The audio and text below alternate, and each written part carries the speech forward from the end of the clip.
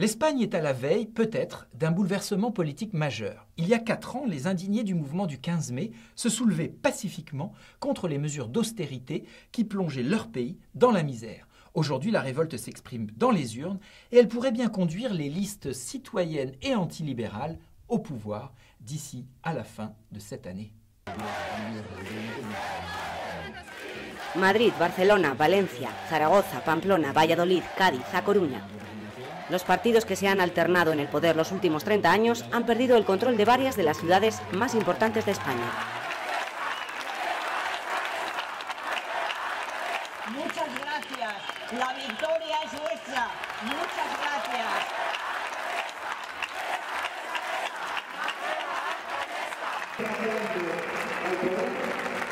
Las elecciones del 24 de mayo confirmaron el vuelco del panorama político. Candidaturas ciudadanas formadas por activistas de movimientos sociales y por partidos de izquierda, incluido Podemos, llegaban a los principales ayuntamientos. Manuela Carmena en Madrid y Ada Colau en Barcelona se convertían en dos de las caras más visibles de este cambio en las instituciones. El Partido Popular y el Partido Socialista, los dos partidos que han ocupado el poder desde 1986, han perdido más de 4 millones de votos en los últimos cuatro años. El poder, con su arrogancia característica, se nos dijo, pero ¿qué os habéis creído? Tanto manifestaros, si queréis algo, presentaros. Y aquí estamos. Eso compartimos. Pero el resultado de las elecciones municipales forma parte de un proceso de transformación mucho más amplio, iniciado el 15 de mayo del 2011 en la manifestación y posterior acampada de los indignados.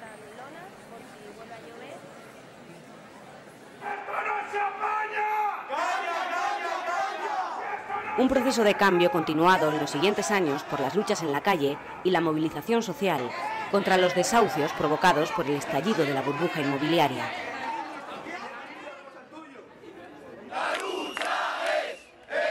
Contra el proceso de privatización de la sanidad.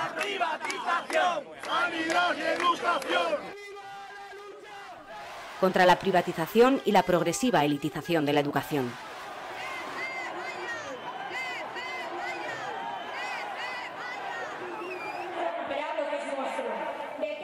Contra los recortes económicos que han afectado a la población más vulnerable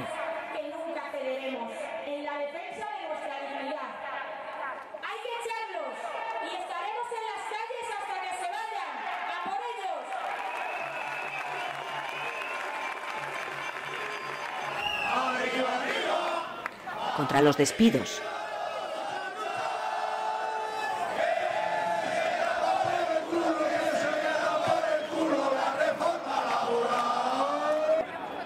Estas demandas se convirtieron a lo largo de 2014 en parte del programa político de Podemos y de sectores sociales que empezaron a pensar en el asalto a las instituciones desde las calles.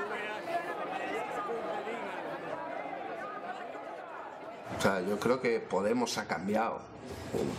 Ha ha seguido esa ola de cambio que inició el 15M de la política en este país. Yo creo que si ahora terminara Podemos, ahora dijéramos paráramos el, cronómetro, ¿no? Entonces, yo creo que nada volvería a ser lo mismo. O sea, yo creo que se han cambiado muchas cosas, muchas formas de hacer política, se han inventado cosas nuevas. Eh, coño, ¿quién hablaba de transparencia objetivamente hablando, no?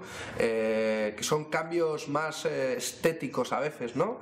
Que profundos, pero que al final llevan cuestiones estratégicas detrás de, re- de reivindicaciones ciudadanas eh, que yo creo que Podemos ha puesto encima de la mesa, hablar de, de control de los sueldos públicos, hablar de revocabilidad, eh, yo creo que son fundamentales. Es el primer partido que desde el 78 habla de procesos constituyentes y que ha conseguido que ese debate entrara a la escena pública.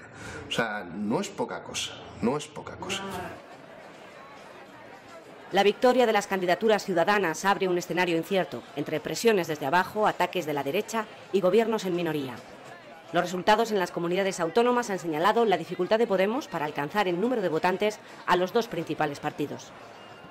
Las elecciones generales previstas para otoño dirán si la voluntad de cambio llega hasta el gobierno de España o se queda en las ciudades.